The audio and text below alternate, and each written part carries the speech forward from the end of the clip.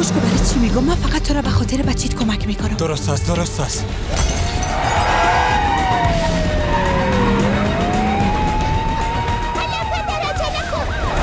چرا قفا نمی‌کنی بچه من!